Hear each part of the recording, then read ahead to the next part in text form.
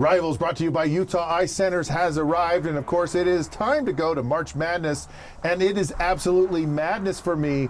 On the first day of the tournament, I was 13 for 16 on my picks. I even had some sleepers in there winning, and then it just went to pot. As you can see, my NCAA champion here is Virginia, and they were beat by 16 UMBC, which I still don't even know what UMBC uh, stands for, other than they beat the number one seed in the country, and of course lost afterwards.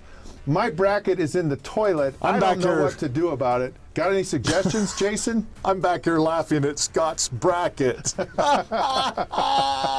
going to talk more about March Madness, so please Oh, text rivals to 65537. Go to all those social sites and like us. And if you're smart, like Jason, because he didn't pick my picks, uh, type uh, rivals on your podcast button, and uh, there we are. Until then, we'll catch you soon.